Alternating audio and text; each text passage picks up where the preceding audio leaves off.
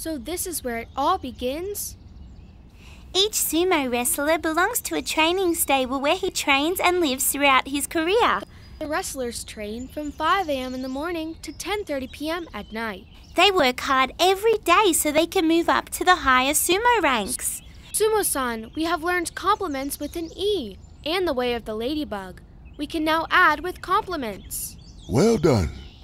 I am pleased you have trained with Ladybug Sensei.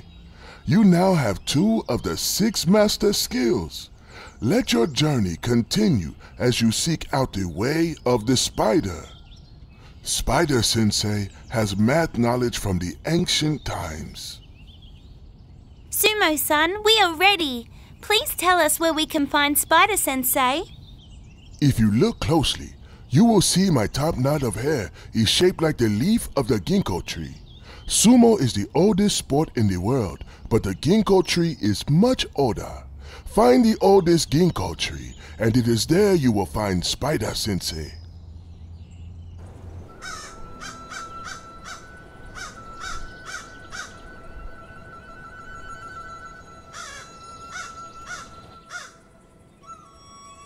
Hello, Spider Sensei. Sumo san said you were the third of the six great insect masters we must visit if we want to become math champions.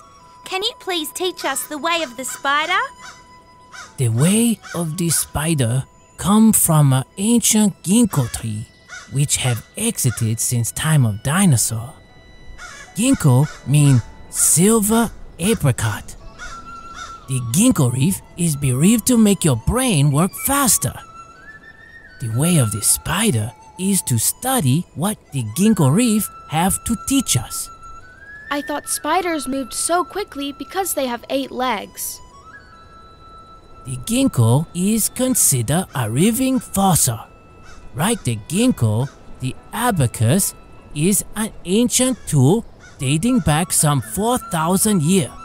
The abacus show us subtraction is simply the opposite of addition.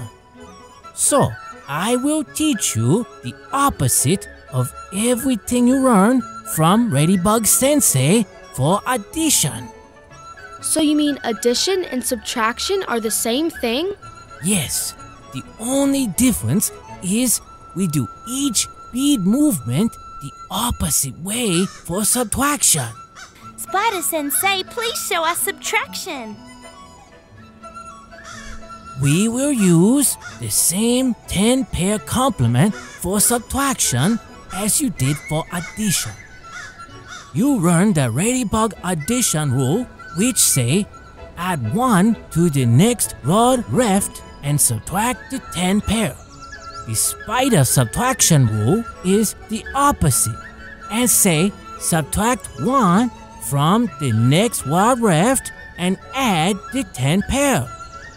For example, to subtract 11 minus 7, place 11 on the soroban. Now, subtract 7, but notice we only have the one bead on the first wad. So, to subtract 7, we use the spider subtraction rule by subtracting 1 from the next rod left and adding 7's pair 3 to 1 for the answer of 4. Student, you have trained well and now know the way of the spider and the subtraction rule. I have taught you all of my Soroban skill. Now it is time for you to continue your skill training journey. Remember, addition and subtraction are opposite. Think of the ginkgo reef and your brain will go faster. Thank you, Spider Sensei. We will remember.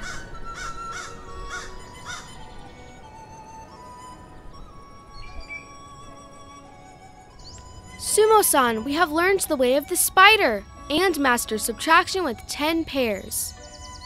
We now know addition and subtraction are the same, just opposites. Well done. Now that you know addition and subtraction using 10 pairs, you now need to learn another pair, the 5 pair. It is time to continue your skill training journey, by visiting Bee Sensei and learning the way of the bee. Good luck!